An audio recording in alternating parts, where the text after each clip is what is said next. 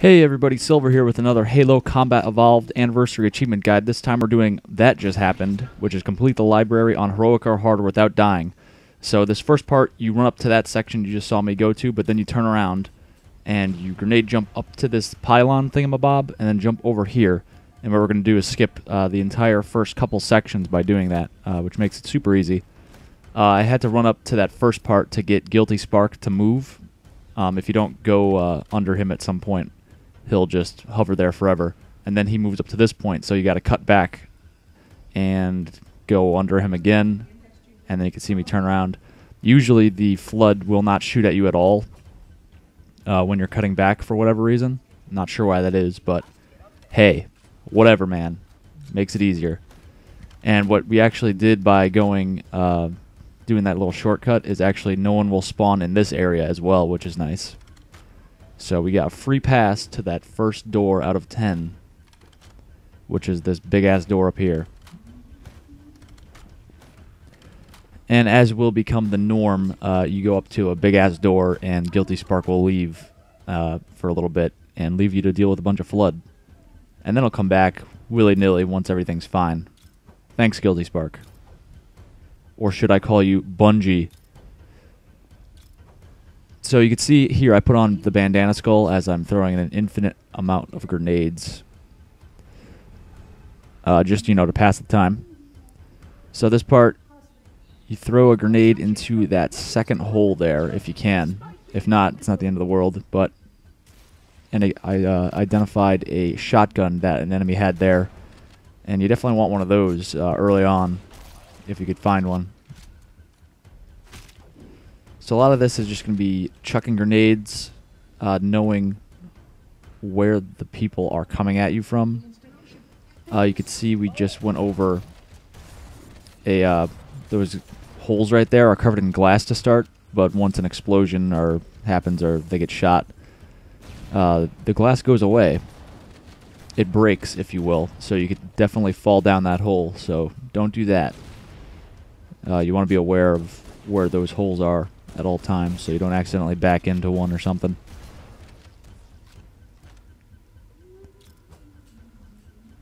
So a lot of this is uh, just clearing out the area to be safe.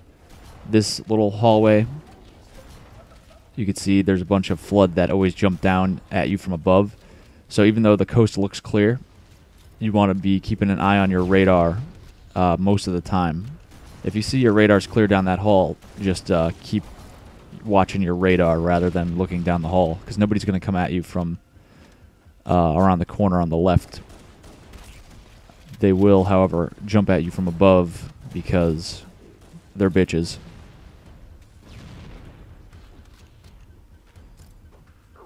So you can see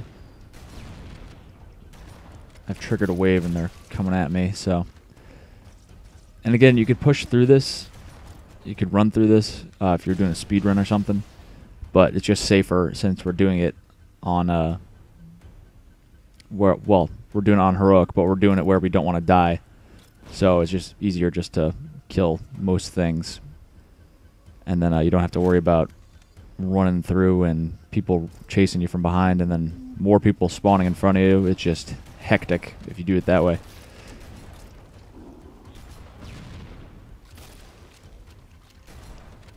So there's a health pack right there around the bend. And there's going to be three or four flood that jump up at you from that uh, crevasse, if you will. The ditch. I don't know what it is. It's a seemingly pointless gouge in the ground. What is this, Forerunners? Why did you put this here? You can see there's overshield right there. I guess that's a doorway because uh, there's other areas like that in the game where you could continue going past that where that overshield was. Uh, I throw a grenade over there because there's always a handful of enemies in that section. Uh, you can see I'm kind of picking and choosing where I run past people and where I don't. That's a point where I just run by them. But you still want to be aware that they're back there in case they're uh, they come running at you. So keep an eye on that radar. They're just carrier forms too, so just make sure when you kill them that usually you'll kill like one at a time, and the explosion from that carrier form will propel the other carrier forms across the room somewhere. So you don't want it to land near you and then explode behind you or something, because obviously you'll take damage at the very least, and you might die. So you just want to be aware of where those uh, carrier forms are flying off to. It's not Neverland. That'd be fine. They could go explode and kill the Lost Boys all they want, but, you know, they're not gonna.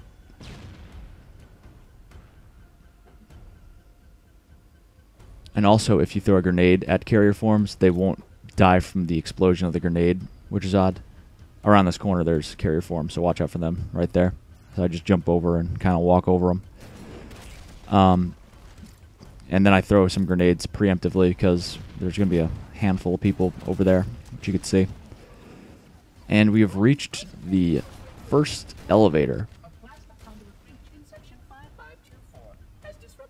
We got to get to the fourth floor, so we're going up to the second floor right now. And you can see this glitchy uh, elevator, which I discovered at some point back in my youthful Halo days where the grenades just fall through this elevator for some reason.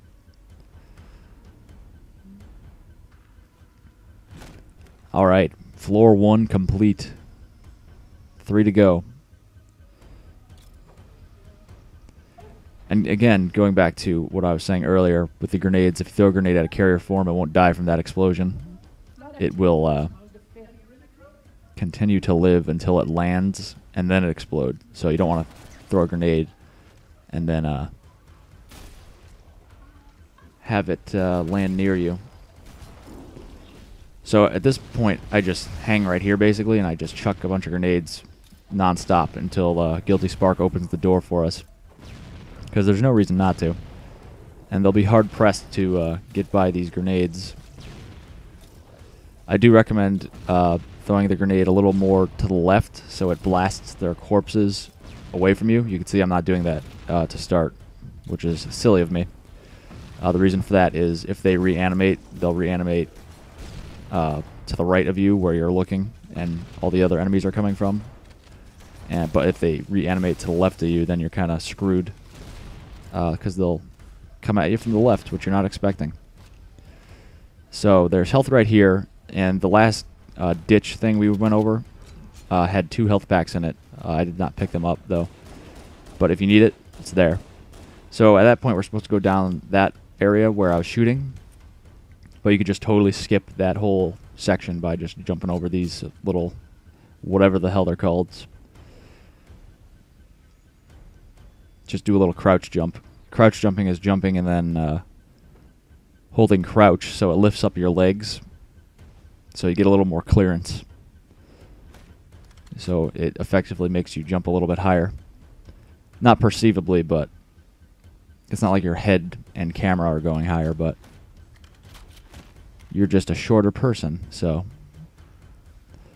you can see those bitches down there. They don't even know. They don't know me. So right here, you could just speed things up a little bit by grenade jumping onto this. This door gets stuck for a little bit, and uh, Guilty Spark works as stupid ass magic. But we don't got time for that.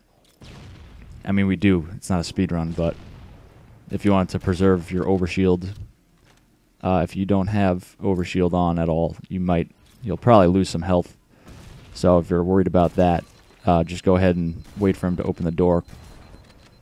The only things that come at you uh, while that door is waiting to be opened by Guilty Spark for you is infection forms will come at you. These little jalapeno poppers, which is fine. They're not going to kill you. Probably.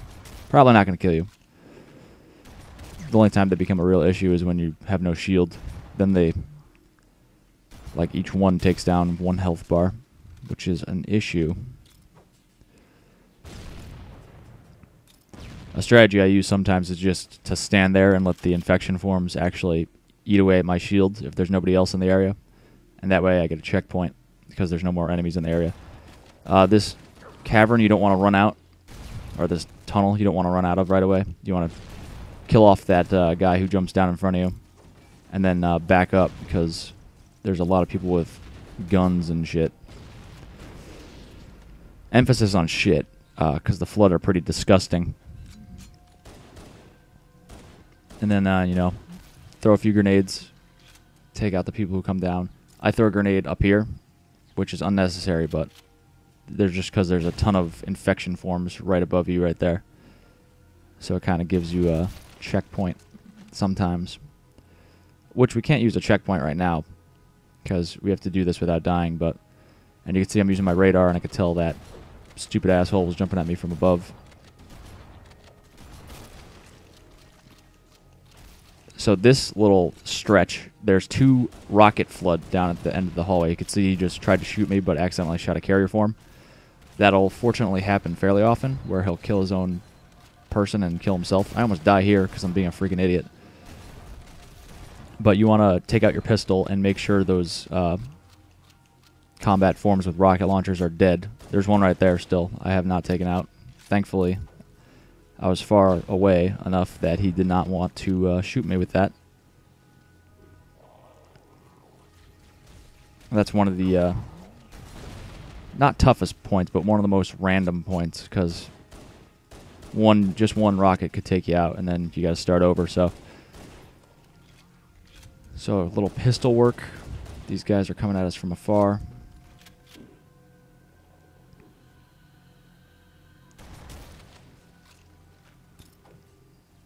The uh, carrier forms will blow up uh, with one to two, or not one to two, two to three uh, pistol shots, and the uh, the uh, one shotgun shot, obviously. So throw some grenades. Well, you don't need to. They actually didn't spawn uh, quickly there. I don't think they ever spawned that quickly in that section, actually. So you're pretty safe there. Definitely the first uh, level to the second level elevator, you want to throw two or three grenades because there's a whole mob of combat forms that come at you. Level 3 Communications. All right. We're halfway there. So there's not much to start here. There's there's people in the distance. You could start working on them with the pistol from far away. And then, well, I guess we got to kill a couple more people. But then you head down here. You got to circumvent the big ass door.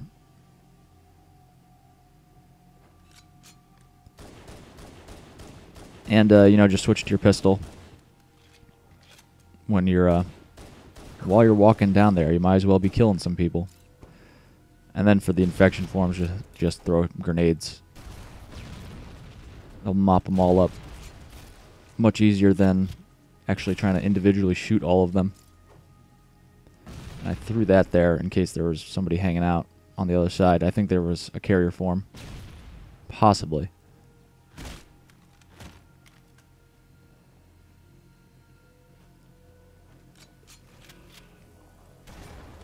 So here we go. We got some sentinels helping us out, which is very nice of them. You could push past here, uh, just shoot a couple people on the way. And we are almost, well, no, we're not. I was going to say we're near another elevator, but we're not. It's wishful thinking. Forgot about those two. Kill those two, and then do what I did uh, earlier, which is just throw grenades constantly uh, at this one area. And that way, oh, he reanimated. See, that's what I was talking about earlier. You want to make try to make sure all the corpses are to the right of you so you don't have to deal with anybody coming at you from the left. But we couldn't help that because two spawned to, to our left, so...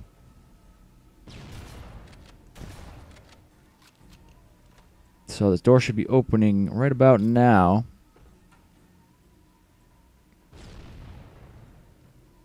Or not. Going through this uh, these levels, doing these videos. There we go. And you want to throw a couple grenades there because there's a rocket flood guy right around that corner. So you want to make sure he's dead. He's the only real threat because you're just gonna instead of going down there like you normally would, you'll just hop around this way like we did on the lower level. And just keep. This is the long way, um, but it's the safer way slightly, I think. Uh, feel free to go to the left if you want, but and you can see behind me is the terminal. You saw a flashing little thing a second ago. If you haven't gotten that one, also uh, check out my other videos for all the terminal locations. If you don't have those yet, just plug myself right there. That's cool. I guess I could plug myself uh, more often during these lags of action. So this door is uh, open to start, so we just walk right through, just waltz on in.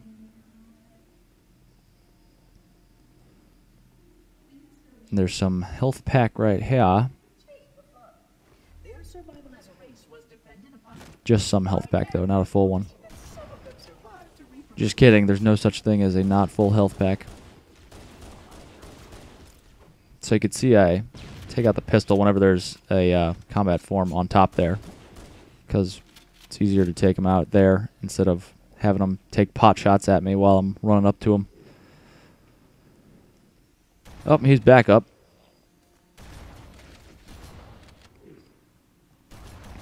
And you can see I uh, sometimes I'll shoot if I if it's not a hectic time with a ton of people coming at me. I'll shoot uh, the combat forms like one time extra after they're on the ground.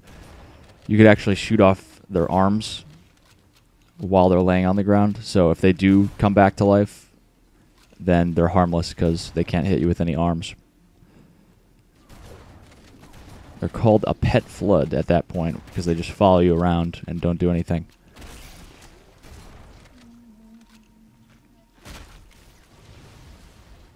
All right.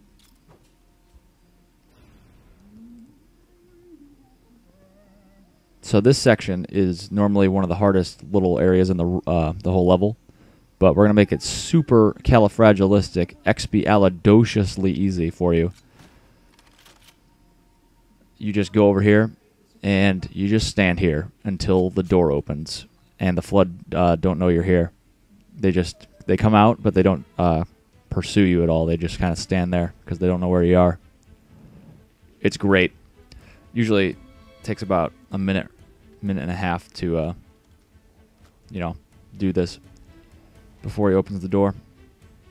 It's going to make this commentary painful because nothing's happening. You guys excited for the Master Chief Collection?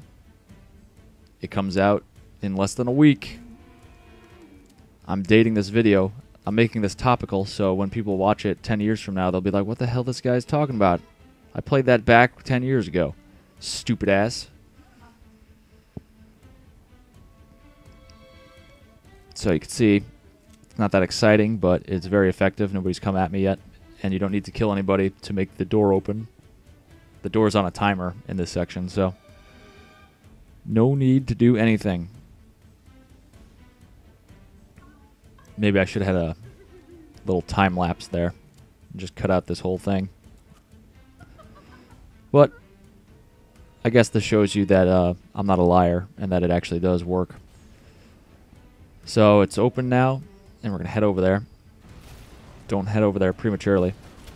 That actually, those flood just came into the uh, forefront there. Just came out in front of me. That's never happened to me before. So I imagine it is extremely rare. Oh, forgot about all those bitches. Throw some nades. Uh, but yeah, that's extremely uh, uncommon for that to happen. They actually weren't coming out in response to me being there. They were actually uh, starting to engage the sentinels that were in the next section. Um, but you could see there were only like three of them right there, so just always be on alert, even though you're doing that little skippy skip thing.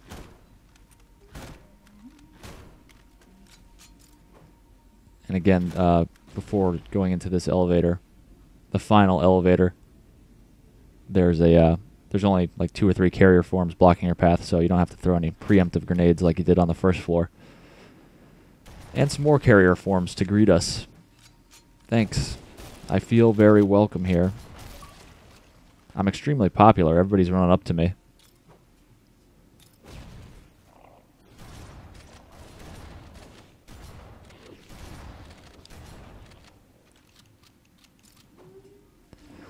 So for this door, you can see it's partially open, so you can grenade jump through there if you wanted to. For speed runs, you could do that, um, but we're not doing a speed run right now, so it's not necessary. I was thinking about doing it, but I'm going to turn around and go through the tunnel.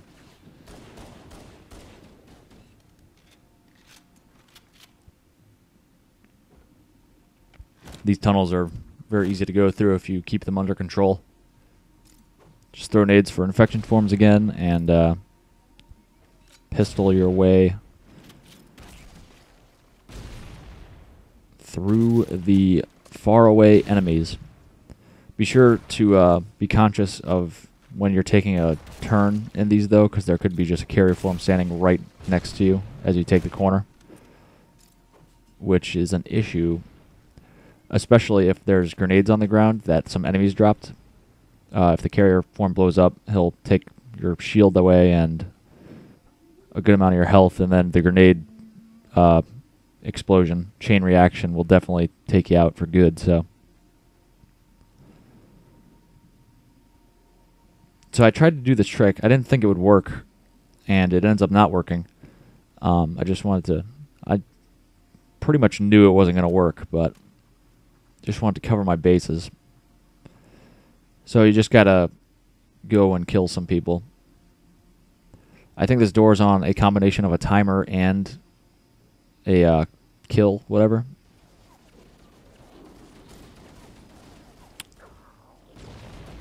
Or no, I lied. I think you just need to uh, go under Guilty Spark like you did right in the beginning of the level to make him go forward and he wasn't there at the point where I was there, so.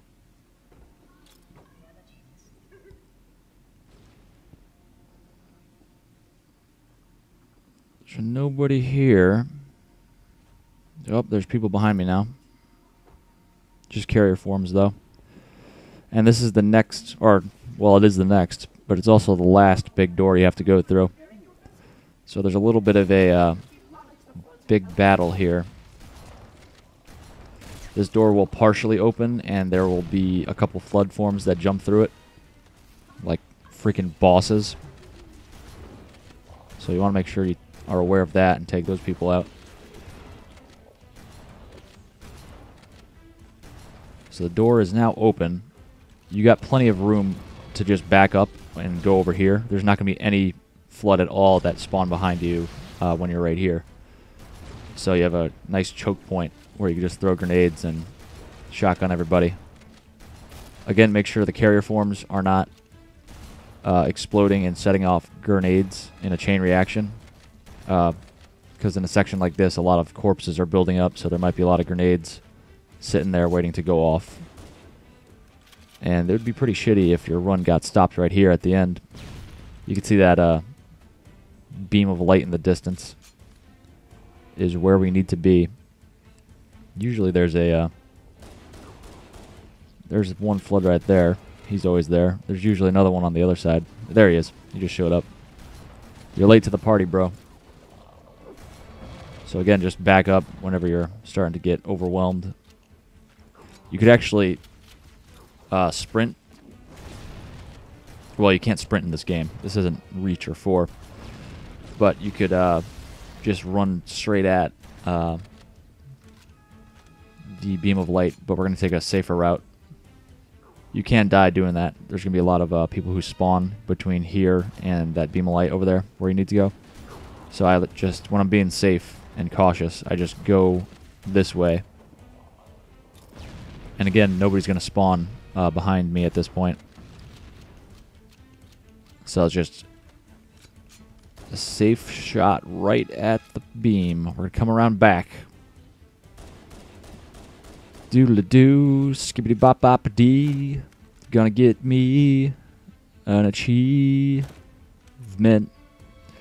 So I guess this is a good point to plug my channel. Uh, I would love it if you guys would stick around and subscribe. I got a lot of achievements coming out. Um, I'll have a lot coming out for the Master Chief Collection, and if you have any special requests, just drop me a line, and I'll definitely put it out for you. The skull, one of the skulls, is actually uh, right behind me where I am now. So if you don't have that one yet, that's where it is. And that's it. Click like and subscribe if this was helpful. That would be awesome of you, and I would love you forever. Thanks for watching, guys, and I'll see you later.